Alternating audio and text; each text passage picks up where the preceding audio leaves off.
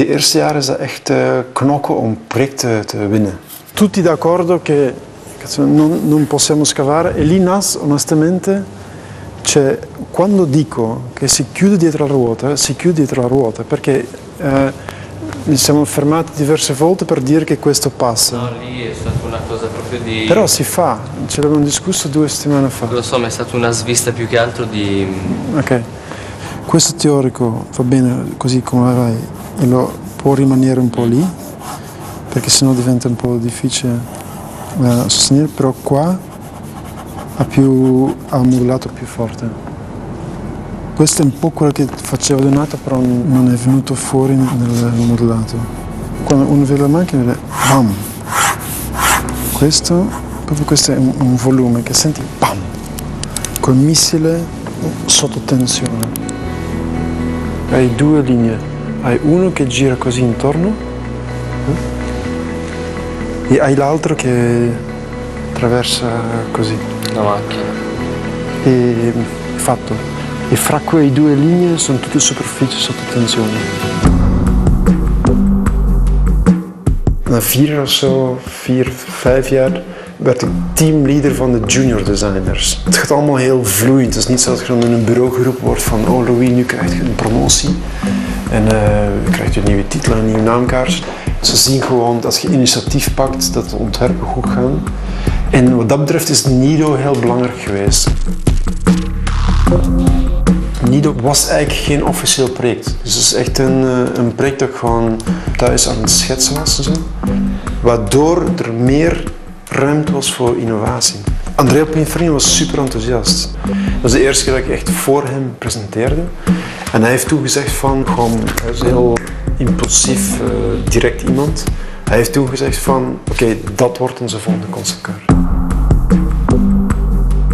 Dit is de allereerste schets van de Nido. Hier, dat is, een post-it.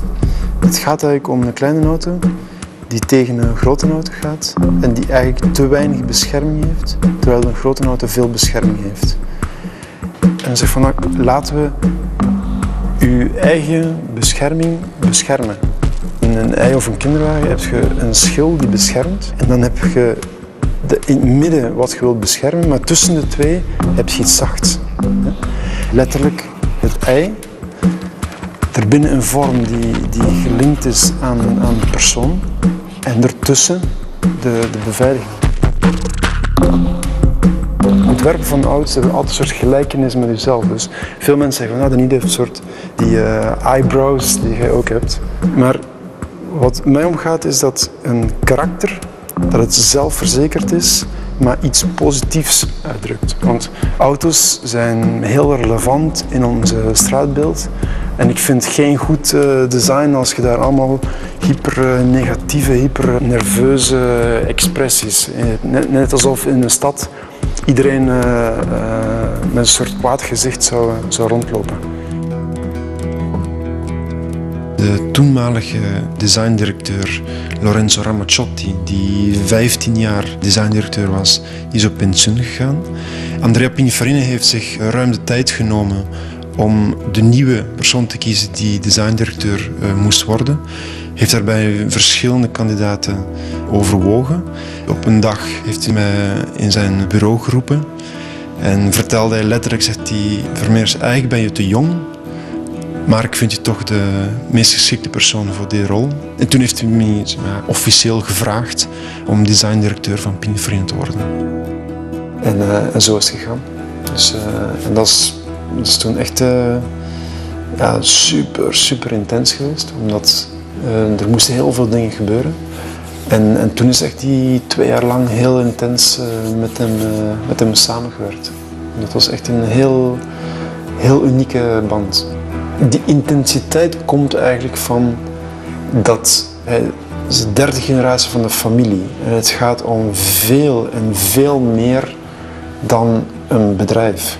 Het gaat om die continuïteit te geven. Het gaat om dat ook heel erg voelde dat hij zich moest gaan meten met zijn vader en zijn grootvader, die, die giganten zijn in de automotive geschiedenis. En ik denk dat die daarin denk ik ook van zijn kant een soort ideale, een sparringpartner in gevonden. Dus het is niet zo dat we vrienden waren of zo. Maar ik weet dat het voor mij zo was en ik denk dat hij ook zo aanvoelde dat daar iets complementair was tussen de twee. Pininfarina sarebbe arrivato nella sede di Cambiano. Invece un'auto guidata da un pensionato di 78 anni non ha rispettato la precedenza e ha travolto lo scooter su cui viaggiava. Un impatto violento, inutili soccorsi, l'imprenditore è morto sul colpo. Zoals je weet is Andrea vorig jaar eh, in een ongeluk eh, overleden. En ah, dat is toch, het was een serieuze, serieuze klap. Dus ik heb geen probleem gehad om, om operationeel helemaal door te gaan. Maar ik mis hem bijvoorbeeld in, eh, in nou, zeg, een presentatie met, eh, met een, een Ferrari of zo. Ik, ik mis zijn eh, dat, dat, dat puur impulsieve, met luie stem, bam, die iets inflikkeren, iets, iets, een opinie erin gooien die, die, een bom doet ontploffen, maar die dan weer in, in die, bom die ontploft, dan ziet je plots dat je de stuk op een andere manier bij elkaar kunt brengen die dan, eh, dan iets beweegt. Ik heb een goede relatie met Paolo Pinfarino, zijn broer, die echt eigenlijk meer ontwerper is dan Andrea. Maar de relatie met Andrea was iets unieks. ja.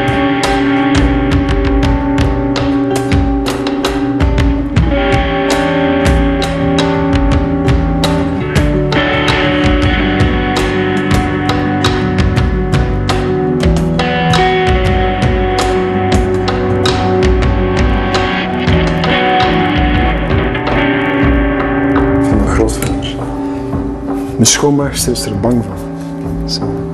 Ze, normaal gezien als ik thuis kom dat die schoonmaakster geweest is, staat hij altijd hier. Zo.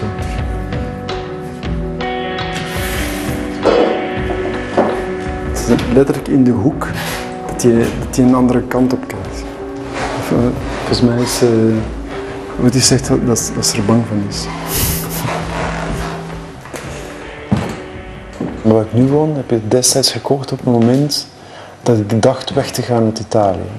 In die tien jaar, je kunt je dat voorstellen, dat is met ups en downs. Hè. Dat zijn woelige jaren geweest. Hè. Dus, eh, maar ik wilde niet weggaan uit Turijn na, na acht jaar hier geweest te zijn. Dat dat niks anders dan was dan een herinnering. Maar wat ik altijd gedaan heb, en dat is gewoon hoe ik ben, denk ik. Ik heb nooit, nooit of te nooit buiten het werk de rol van designdirecteur Pininfarina geleefd. Financieel absoluut geen probleem, maar ik heb gewoon altijd puur geleefd zoals ik op dit moment goed voel om te leven. En eh, het lijkt me een heel slecht idee om dat ook buiten werk nog eens te gaan leven en nu een villa te kopen in de heuvel, een Ferrari voor de deur. Mijn eh, gevoel van vrijheid is op dit moment nog veel meer waard dan die paar vierkante meters meer. Ik vind het heel prettig om die, die twee kanten te leven. Ik geniet ook van die momenten met eh, hotshots op een of andere chic diner zitten en over strategieën praten. En dan leef ik eigenlijk graag dat contrast voor het s'avonds hier te komen. Wat dat betreft is Piemonte volgens mij niet zo ver van eigenlijk ook een beetje de Vlaams of, of de West-Vlaams, die ik dan beter ken, eh, cultuur. Niet te veel poeha's en niet te veel van eh, alles laten zien en zo. Iemand die, die ik heel graag heb is Barragan. Kent je Barragan? Oeh.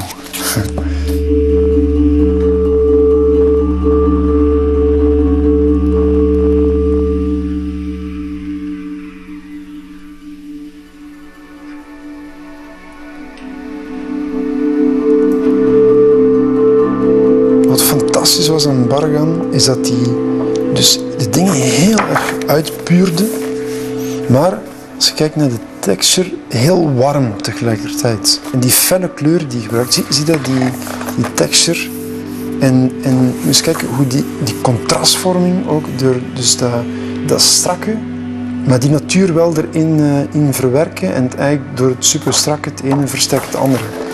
Maar prachtig hoe, hoe je erin slaagt om het uit te puren zonder afstand met de natuur te verliezen.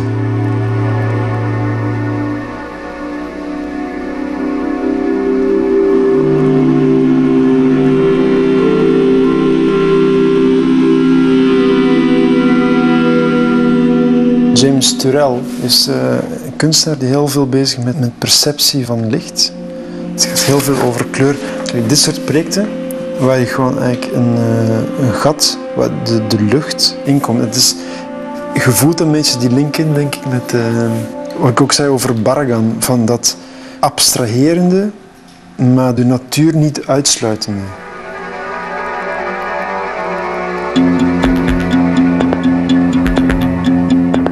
Ik ben een groot bewonderaar van bepaalde werken van Rem Koolhaas.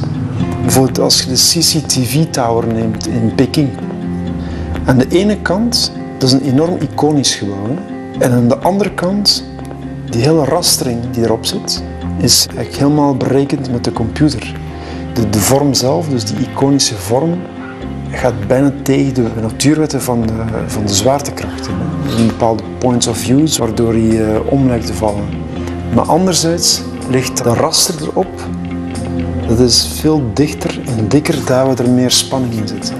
Dat vind ik fascinerend. Dat met de instrumenten van nu, bijvoorbeeld de computer, die bijna primitieve natuurlijke krachten letterlijk naar boven gehaald kunnen worden. En in dat geheel, wat ik interessant vind, is dat de ene intuïtie zegt van ja, dat gaat, dat gaat afbreken, maar tezelfde tijd is er een communicatie die je geruststelt, omdat het de, eh, ook aan intuïtie appelleert van ah, maar dat is, dat is daar sterker, dat is sterk genoeg. Voor mij ligt dat perfect in de lijn van wat Pininfarina altijd gedaan heeft. En dat is net hetzelfde. Dat is een moment toelaten waar je eigenlijk vraagt aan, aan de lucht, van lucht zeg eens wat volgens u de, de beste vorm is.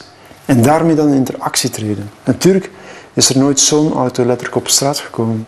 Kool was natuurlijk, die flirt bijna met hoe de maatschappij in elkaar zit en zo.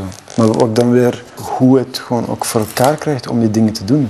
Want er is, er is nog een groot verschil tussen een idee en een gerealiseerd idee.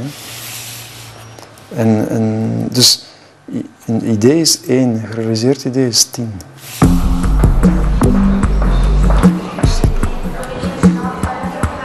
Naast eh, de conceptcar leidt ik natuurlijk de volledige designafdeling van Pininfarina. En met die groep van ongeveer 120 man zijn we momenteel bezig met een vijftiental projecten in parallel. Dat gaat van eh, productieauto's voor Ferrari-klanten in China en India tot publiek transport zoals de nieuwe Eurostar-trein. Een van de aanpassingen die we wilden maken is dat de achterkant van de auto is ietsje te lang. Dus die wilden we verkorten. Maar terzelfde tijd willen we de spirit van die proporties van die typische alfa's die een, een redelijk lang achterkant hebben ten opzichte van de voorkant. En daarom beslist om de cabine ietsje meer naar voren te brengen. Oké.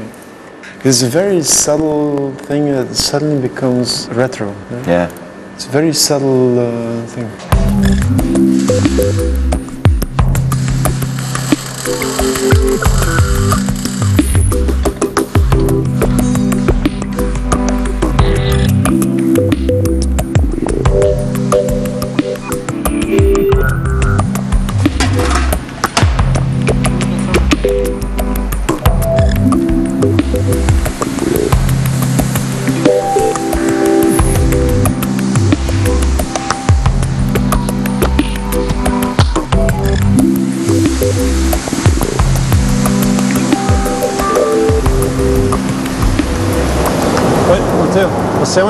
Insieme dove so che è difficile la macchina. Una, una delle cose da decidere è che qua dove, dove si ferma Dove muore quello? dove si muore questa cosa qua. Non so. We net hebben gediscussieerd van tussen deze twee lijnen welke de belangrijkste is. Dit is de belangrijkste lijn omdat die het thema onderlijnt. Dit is een secundaire lijn, dus die gaat iets langer door. Die blijft iets korter.